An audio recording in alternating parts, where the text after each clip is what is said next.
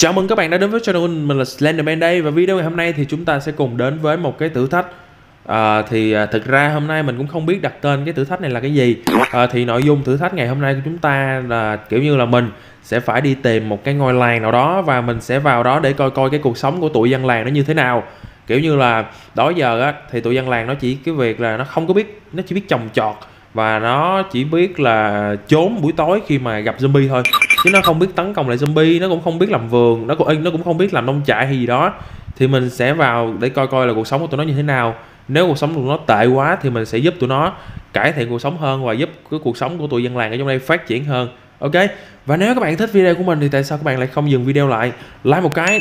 À, để cho mình biết là các bạn chính là fan của mình. Và đừng quên là đăng ký kênh và chia sẻ video để ủng hộ mình. Và nhớ là bấm và xem hết video à, xem hết quảng cáo bấm quảng cáo để ủng hộ mình. Nếu bạn nào không xem hết quảng cáo thì có thể bấm vào quảng cáo để ủng hộ mình thôi là được rồi.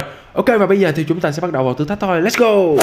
Ok, và mình đã quay trở lại với các bạn rồi đây. Và bây giờ thì chúng ta sẽ bắt đầu vào thực hiện thử thách nha các bạn. Thì đầu tiên là mình phải đi tìm à, một cái làng nào đó Để mình có thể xem coi là cái cuộc sống hiện tại của tụi nó bây giờ như thế nào.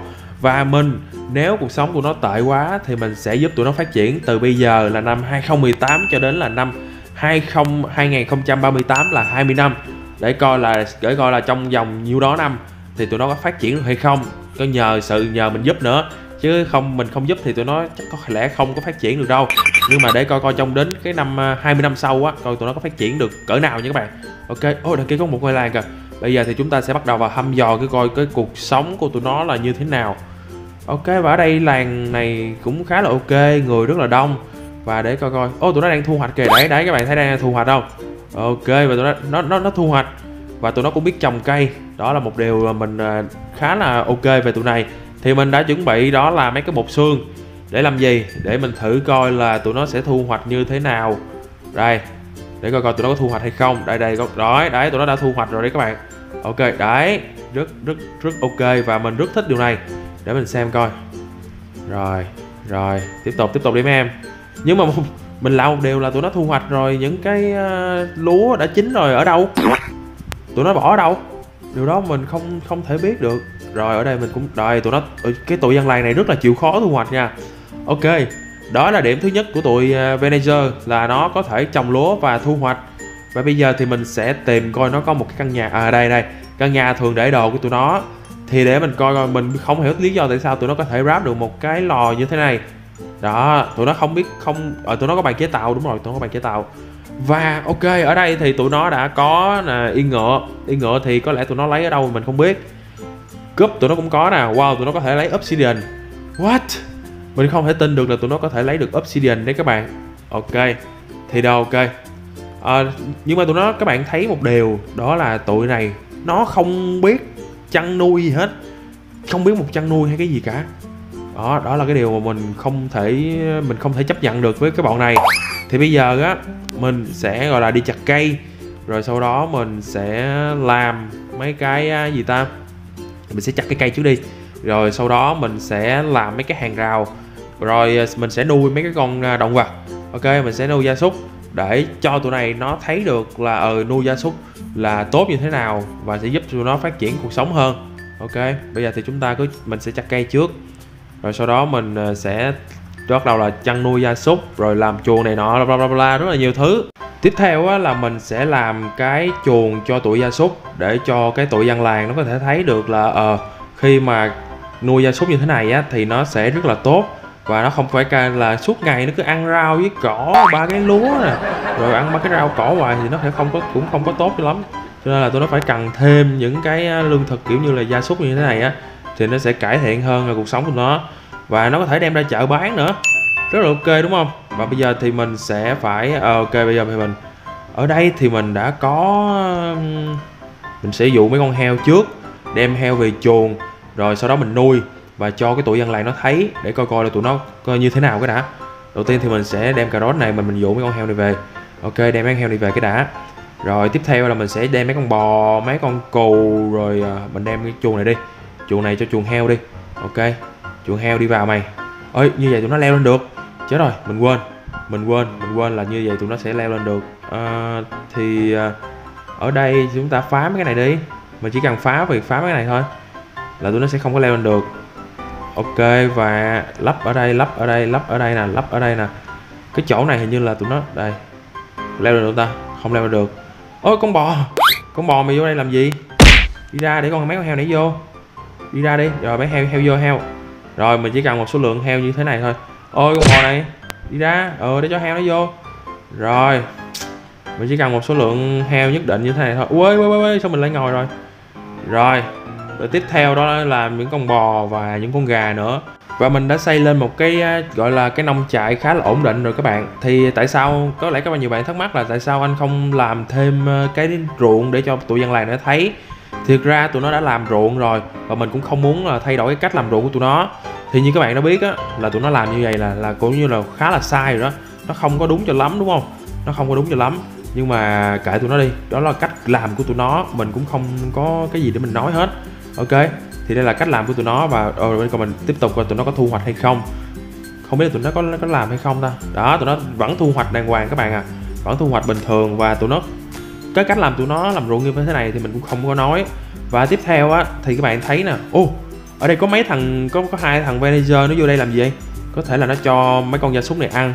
Ở thì ở đây mình đã để sẵn cho tụi nó, đó là cà rốt thì mình để ở chuồng nào mình sẽ để cái um, nguyên liệu như thế. Thì chẳng hạn như ở đây á, là cà rốt thì mình sẽ để là chuồng heo, tụi nó sẽ biết là cho heo ăn như thế nào. Còn ở đây thì là ờ, lúa thì cho bò ăn, tụi nó cũng, tụi nó cũng phải biết thôi và ở đây chính là thóc thì mình đã để sẵn hết tụi nó rồi. Thì tụi nó cũng sẽ biết là ừ mình nên làm cái gì và làm cái gì. Còn không biết là bây giờ á, thì buổi sáng là coi như là hiện tại là mình đã cho tụi nó, chỉ tụi nó được là làm chuồng, chăn nuôi gia súc như thế nào và cách chăm sóc gia súc như thế nào và đem đi bán như thế nào rồi. Thì bây giờ á, đến buổi tối, chúng ta sẽ xem coi khi buổi tối tụi nó sẽ như thế nào nha các bạn và đến khi mà trời tối á thì bây giờ mình sẽ xem coi là khi trời tối cái bọn dân làng này nó sẽ làm gì khi mà nó gặp zombie. Ok bây giờ thì chúng ta sẽ ra ngoài xem coi. Thì mình nãy hồi nãy giờ là mình đã cố mình đã làm gia súc làm trang trại nông trại này nọ cho tụi nó thấy và tụi nó sẽ cố gắng ờ, học hỏi theo. Còn bây giờ đến tối sẽ như thế nào? À zombie xuất hiện kìa. Mày nè mày nè. Ờ, mày mày nè mày nè đừng có đùa. Mình sẽ cố gắng cắm đuốc lên cho nó sáng. Ok hiện tại nó trời rất là tối và để mình coi coi tụi dân làng rồi. Rồi xong. Tụi dân làng này đây nó nó chỉ có việc núp trong nhà thôi. Đây một đống trong nhà luôn. Không biết làm gì hết. Thật là tệ quá. Thật sự oh my god. Ở trong đây cũng núp núp một đống ở trong nhà. Không biết làm gì hết. Thực sự quá tệ. Rồi ôi mày mày mày ôi mày, mày từ từ từ từ mấy anh ơi. Ở đây zombie rất là nhiều đó và bây giờ thì mình sẽ phải chiến đấu để cho bọn nó thấy được là phải học cái cách chiến đấu để có thể khi buổi tối có thể chiến đấu được với zombie. Chứ tụi nó không thể nào mà có việc là cứ đi trốn như thế đó. Hoài được thì không thể nào mà tụi nó khá được. Ok zombie ở đây thì mình sẽ có thể giết được. Với oh my god no no no chạy chạy chạy chạy. Ok mình đang đói cho nên là oh my god no no no no no no no. Đừng chết please please. Ok ok ok. Hiện tại là sao, sao tối dữ vậy ta? Ok. Wait. Con này. Con này. Con này. Wow. Wow. Nước rất đẹp. À, hiện tại là tụi nó không biết cách nào để có thể chống được cái zombie hoặc là những cái con khác những cái con quái vật khác. Mà tụi nó chỉ biết là chạy núp và trốn. Thì mình đang gọi là chiến đấu cho bọn nó thấy được là chỉ có một cách là tụi nó phải chiến đấu thì tụi nó mới có thể tồn tại được vào buổi tối thôi. Chứ không thể nào mà tụi nó đi trốn được rồi, hiện tại là ở trong nhà để mình coi coi. Nhà này thì không có rồi, không, nhà nào có cửa tụi nó mới trốn. Còn nhà không có cửa tụi nó sẽ không trốn, không dám trốn rồi đây, ở hạn như cái nhà này thì mình sẽ đi vào đi vào coi. Mà thôi mình mở cửa tụi nó sẽ chạy toán loạn hết và tụi nó sẽ bị zombie giết hết. Không được, đó. À à à. Đó là khi vào buổi tối, tụi nó rất là tệ. Oh my god. Mấy cái thằng dân làng mà gọi là như thế nào ta? Mấy thằng này là mấy cái thằng à, hồi nãy cho vô để cho gia súc ăn nè. Nó đang tập đó các bạn. Phải không? Nó vô đây và nó bị biến thành zombie hết rồi. Mấy con zombie ác ôn. Thiệt chứ tụi này nó đang tập. Nó đang tập để à, nó trở thành à, nó có thể biết được chăn nuôi gia súc như thế nào. Và cuối cùng đâu phải mấy thằng mấy thằng zombie này tụi bay nở lòng nào tụi bay là giết tụi nó. Tụi bay là biến nó thành zombie giống tụi bay.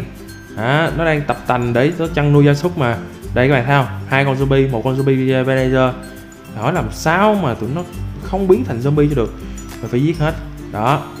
Và tất nhiên tụi nó đã học được cái cách chiến đấu. Phải học được thôi. Nếu không học được thì tụi nó sẽ không thể nào tồn tại được vào buổi tối. À con zombie con này. Quê nó bị kẹt à. mày mày mày mày, mày nhỏ mà láo. Đấy các bạn có thể thấy được. Và một con nữa từ từ để mình chiến thêm một con nữa. Cái này trời tối rất đẹp. Rất đẹp luôn nhưng mà mình phải uh, cố gắng mình chiến. À mày mày mày mày mày mày. Ok ngon lành. Và có lẽ tụi nó đã học được rồi đó. Tụi nó đã học được phần nào là biết bảo vệ mình khi mà trời tối rồi đấy. Chứ kiểu như thế này tụi nó không thể nào mà tụi nó tồn tại được. Đây tụi nó đây núp trong nhà. Rất là khốn khổ và tội nghiệp. Ôi, bây giờ mình vô đây mình giải quyết cái mớ đồ này cái đã. Rồi mình ra mình coi coi tụi nó như thế nào rồi uh, mình sẽ dẹp bớt mấy cái này đi. Thực sự mình cũng không có cần mấy cái này đâu. Hiện tại là mình chỉ đang giúp cho cái tụi dân làng nó phát triển thôi. Trong vòng 20 năm nữa thì không biết là như thế nào. Uh, thì là, nói chung là mình đã tập cho tụi nó rất là nhiều thứ rồi. Và có thể là tụi nó đã biết làm được ờ, khá là nhiều. Mình dẹp hết mấy cái này luôn đi. Bây giờ mình cũng không cần mấy cái này nữa. Ok mấy cái này mình cũng dẹp luôn. Rồi bây giờ thì mình sẽ ra ngoài. Coi coi đây. Khi buổi sáng á, thì tụi nó tản ra ngoài rất là đông. Nhưng mà đến buổi tối thì tụi nó rất là ngu. Không biết chiến đấu như thế nào hết rồi sẽ bù lại cho tụi bay để trồng lại mấy cái này để cho tụi bay thu hoạch à, thu hoạch đi các em. Đó thu hoạch đi. Bù lại thì tụi nó có thể thu hoạch các bạn thấy không? Thu hoạch và tụi nó trồng lại rất là lịch sự chứ không phải là việc thu hoạch. Ở đây nó có cả mía nào mình mới để ý á. Ôi bên đây wow hiện tại là tụi nó đang uh, cho mấy con này ăn nè các bạn phải không? Wow nó vào nó cho ăn luôn. À ở đây có một con zombie con. Con zombie con này sao đây? Mày thôi kệ đi cho zombie ở đây cho nó tập làm quen đi. Bây giờ hiện tại nó đang cho mấy con kia ăn rồi. Mình chọi cái quả trứng này coi. Không có gì hết ốc dịch oh my god. Ấy ở bên đây cũng có nè. À tụi này nó đang tập tành nuôi nè các bạn. Các bạn thấy chưa? Nè mấy cái thằng dân làng nè nó đang tập tành nuôi nè. Ở đây coi mình coi coi nó nuôi con gì. Bò nè với gà. À tụi này nó mới tập tành cho nên là nó xây một cái chuồng khá là nhỏ. Và nó nó nuôi hỗn hợp. Là nó nuôi nhiều con trong một chuồng đó các bạn. Ồ oh, vậy cũng được biết nuôi vậy là ok rồi, còn cái chuồng kia thì mình xây coi như là mình cho tụi nó luôn. Đó, wow. Và không biết là trong vòng 20 năm tới nữa tụi nó sẽ như thế nào nữa các bạn. Và chúng ta hãy chờ xem trong vòng 20 năm tới tụi nó sẽ như thế nào nhé. Chào mừng các bạn đến với năm 2038 Thì như như các bạn đã biết rồi, Cách đây 20 năm thì mình đã tới một ngôi làng Và mình đã giúp tụi nó làm rất là nhiều thứ. Nào là chăn nuôi gia súc nè, Nào là có thể chiến đấu với zombie vào buổi tối. Và bây giờ sau 20 năm rồi Không biết là tụi nó đã học được những gì Thì mình đã quay trở lại cái ngôi làng này Và bây giờ thì mình sẽ cho các bạn xem Tụi nó đã làm được những gì Và tụi nó có phát triển hay là không. Kiểu như là tụi nó có phát triển hay không hay tụi nó dậm chân tại chỗ. Đó. Thì ở đây ô oh, đây vẫn là một ngôi làng bình thường. Có lúa vẫn bình thường. Ở đây thì sẽ là ô oh, tụi này nó đã biết cho bò ăn rồi nè các bạn. Nó đang ờ, ở trong chuồng bò và cho bò ăn. Ở đây thì mình sẽ coi coi à thì ra ở đây là nó chia ra là ở đây có rương lúa là sẽ ngay chuồng bò ở đây là chuồng heo thì sẽ có là à cà rốt rất tốt nó đã học theo mình. Và ở đây là gà chuồng gà thì nó sẽ có là hạt giống rất tốt. Ở đây thì nó học theo mình và tụi nó sẽ làm được những gì đây? À, ở đây thì à có lẽ nhiều bạn thắc mắc ô tại sao diện mạo tụi nó thay đổi rồi? Tất nhiên rồi sau 20 năm, tụi nó đã thay đổi. Tụi nó không có mặc cái bộ đồ mà dài thòn lòn y như một cái đầm vậy. Nghĩ sao mà đàn ông mà mặc cái bộ đồ dài thòn lòn y như đầm vậy? Không được, tụi nó đã thay đổi và tụi nó đã trở thành đây, đàn ông nữ tính thì mặc đồ nữ. Đó, đàn ông thì mặc đồ đàn ông. Rất là dễ thương. Ở ở đây như thì mình thấy nữ không mà không thấy đàn ông.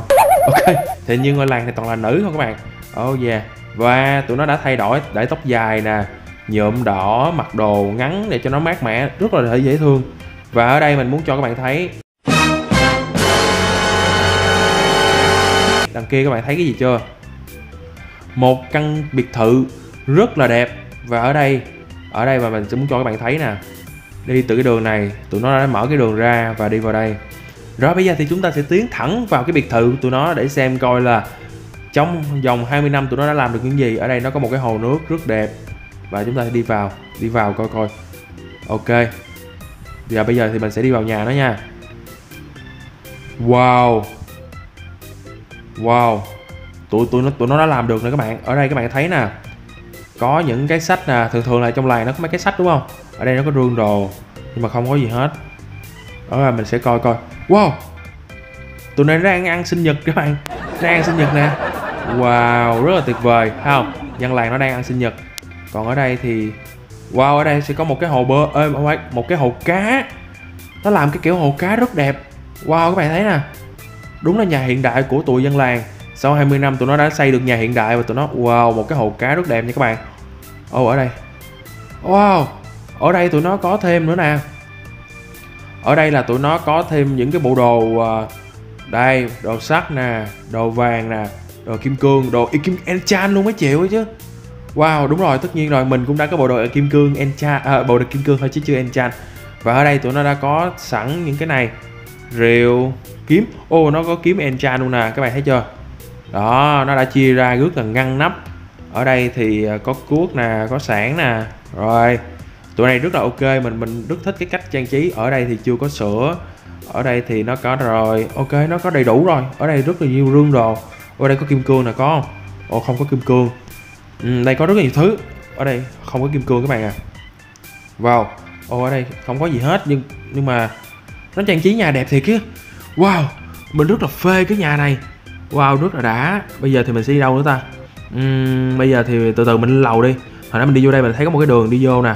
Hồi nãy mình thấy có một cái đường đi vô đây. À đây có đường đi vô nè bây giờ mình sẽ đi vào cái đường đó nha. Bây giờ mình sẽ tiến vào thẳng cái đường này để coi có cái gì. Wow có một cái cổng địa ngục luôn. Wow tụi này nó xây cổng địa ngục luôn các bạn rất đẹp ở đây muốn một đường đi vào. Và đi thẳng vào đây là wow thì ra là tụi nó trồng lúa ở trong này. wow ở đây trồng lúa nè và trồng mía. Và mình sẽ giải thích cho các bạn tại sao. Oh, wow con dơi kìa các bạn.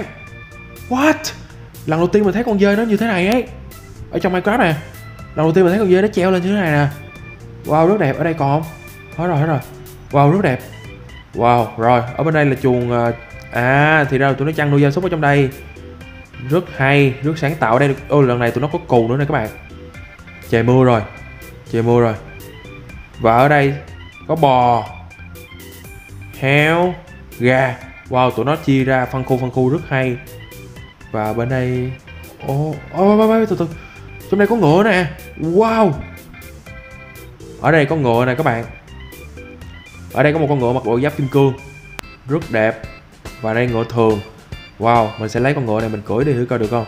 Ok. Rất ok rất ok. Ơi rồi, không được rồi.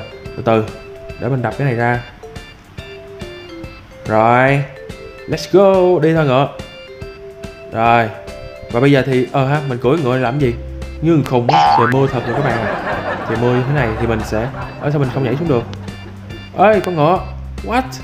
Mình không không nhảy xuống được con ngựa các bạn. Ok nhảy được rồi nè rồi bây giờ thì mình sẽ gọi là đi lên lầu coi coi là trong trên lầu tụi nó như thế nào nha.